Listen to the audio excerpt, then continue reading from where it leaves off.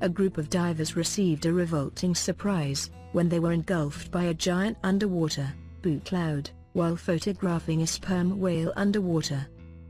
Described as a poonado by Canadian photographer Keri Wilk, 30, the peculiar behavior is thought to have been evidence of a rarely seen defense mechanism. After spotting the aquatic mammal in waters off the small island of Dominica, the four free divers began to take pictures as part of a government-approved expedition. But the routine dive soon took a turn for the strange when the whale began releasing wave upon wave of fecal matter right in front of their eyes.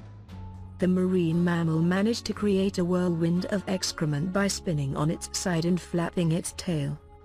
Although it isn't uncommon to see whales defecate before they descend, this was a bowel movement with a difference, spanning over 30 meters in diameter.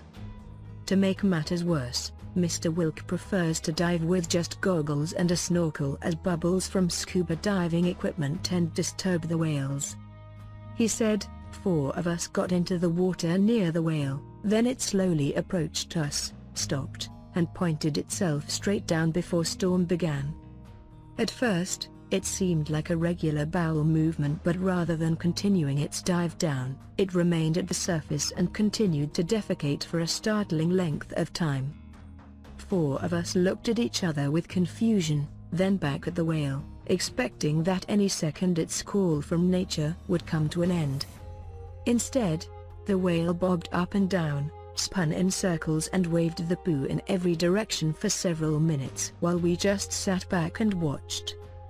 The water was crystal clear, initially, and was the most idyllic Caribbean blue water that you could imagine. After a few waves of feces were released and stirred vigorously by the whale, the water was like chocolate milk, I couldn't see my hand when I held it in front of my face. I had poop in my eyes, mouth, wetsuit, everywhere, and I was soaked in it from head to toe. But, after leaving the cloud, it quickly washed away, and didn't leave a smell on us. I did take an extra long shower once I returned to shore later that day, just in case. I've never heard of it happening before, and I don't know anyone that has had this happen. It very well could be the first time that it has been photographically documented.